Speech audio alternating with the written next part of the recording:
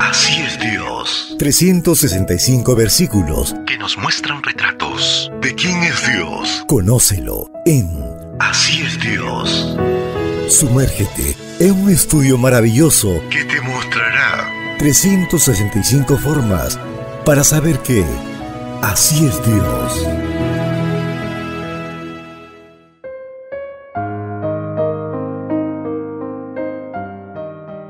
Apreciado amigo, apreciada amiga, es una bendición poder saludarte hoy 6 de julio, día sábado, día de adoración y encuentro con nuestro Padre Celestial. La matinal para esta mañana se titula Un Dios muy amado por sus hijos.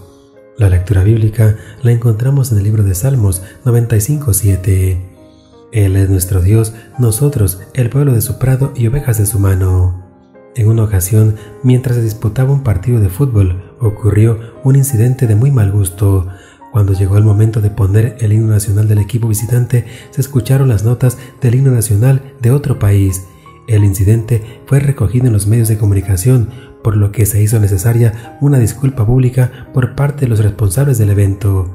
Me surge una pregunta, ¿por qué un simple error humano generó tantas reacciones?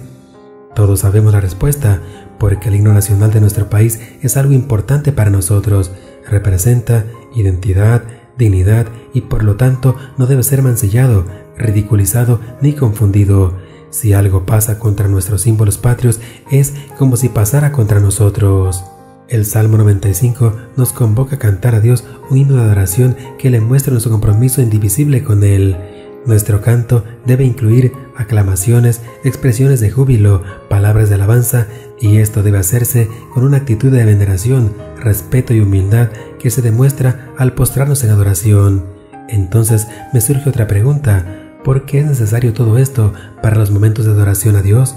Y la respuesta es contundente, porque nuestra identidad y nuestra dignidad como cristianos se deben al Dios que tenemos, todo lo relativo a Dios es un asunto de vida para nosotros y cuando se trata de Él somos enfáticos, expresivos y totalmente comprometidos.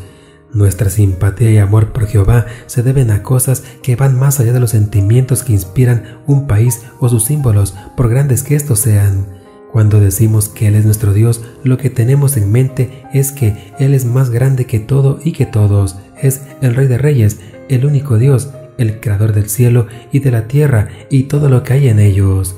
Nuestro Dios merece tener unos hijos y un pueblo que lo amen visiblemente, que lo adoren en forma pública y comprometida, y lo merece porque Él lo ha hecho todo por nosotros.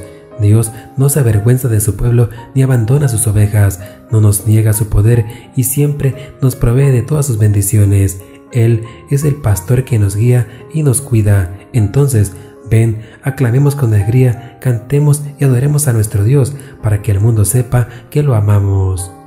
Que el Señor te acompañe en este día y colme tu vida de abundantes bendiciones. Recuerda, mañana tenemos una cita en este mismo lugar, en la matutina para adultos. Ahora lo conoces un poco más que ayer. Más que ayer.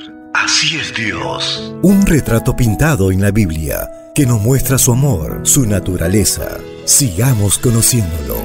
Así es Dios.